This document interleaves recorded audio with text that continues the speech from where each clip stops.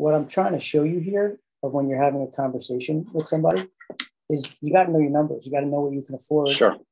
And you got to work just work the business from you closing the business and work all the way in reverse.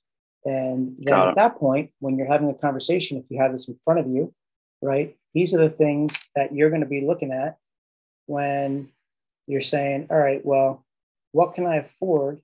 Well, I know that if I'm buying the leads, if I can afford $6.56, if, right?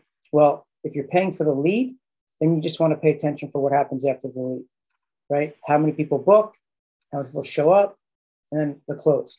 If you're paying for the book meeting, you don't really care about the leads, right? Because you're not paying for anything until they book a meeting. So you would right. start from booking a meeting.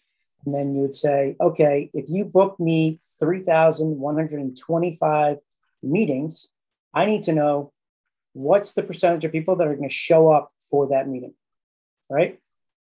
I want to know because the numbers, this will change everything, man. Right? Watch. Right. What happens if 40% show up? Sure. Right? Yep. What happens if 50% show up? See what's happening here? See these numbers yep. changing? You know why these numbers are changing? You're seeing more people.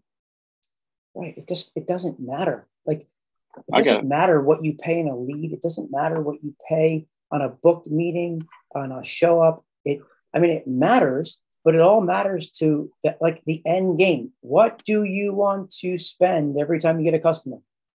Now, when you work backwards, you can do you can do anything. You could pay on a on a, a show up, a book meeting, a lead, a click. You can go to the impression if you had to, right?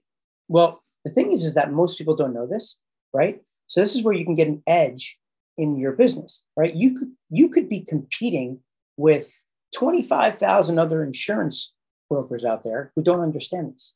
And like you, I only want to pay when I get a sale, right? Well, if I'm a guy driving traffic and I have leads, and you come to me and say, you know what, Eric, Dude, I'd be willing to pay you $45 when you book a meeting. For every book meeting, I'll pay you 45 bucks. When everybody else wants to pay 175 for a closed sale. By the way, it's the exact same thing, right? Mm-hmm. I got gotcha. thing.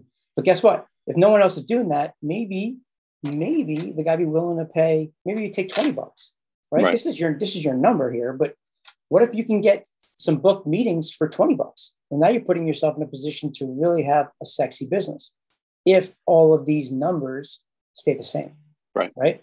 So the variables are these percentages of what's happening as you start to buy traffic. As you start to do this, the only way you're going to learn is if you test right? Yep. As you test and you start to learn the numbers, you start to understand, usually for the most part, unless somebody tweaks what they're doing on the front end traffic sources, it's going to stay around that range for the most right. part, where you you can make some predictions. Of course, you want to be watching it, right? Because what I like to call it is a true up. No matter what you're doing, you can true up in the back end later as you start to look at data every day and say, okay, well, how many how many meetings did we get? uh, I know if you get me X amount of meetings, that I'm going to close X, Y, Z. And as long as you're getting the same type of traffic from somebody, you can model out the business.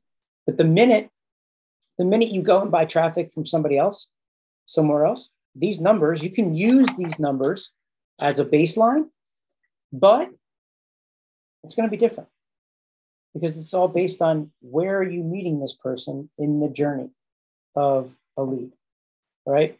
So you can play here. This seems like a, a good place for you to start because it looks like it's a good high quality lead and it's taking right. away a lot of the, the work you need to do.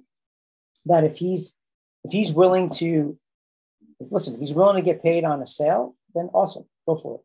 Uh, if he's like, I don't want to do that, mm-hmm. then maybe he's getting, you know, all right, then I'd be willing to pay you on, on a meeting as a test. Well, how do you do it? How do you, okay, well, you know what, I'll spend I want to spend a thousand dollars to test it out. I'm going to spend five thousand dollars to test it out. I'm going to spend ten thousand.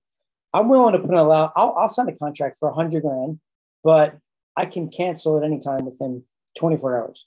And I want you to cap the leads to 10 a day. Right. So what is that? Immediately, it looks like you're a player, but really, at the end of the day, if you're willing to spend $50 for every book meeting and you're capping them at 10 bucks, your risk is 500 bucks a day. Right. Right. But you signed a $100,000 contract. Right. right. It doesn't really matter as long as you can have an out to cancel at any time. But it's all based on the perception of who you are and how you do the deal.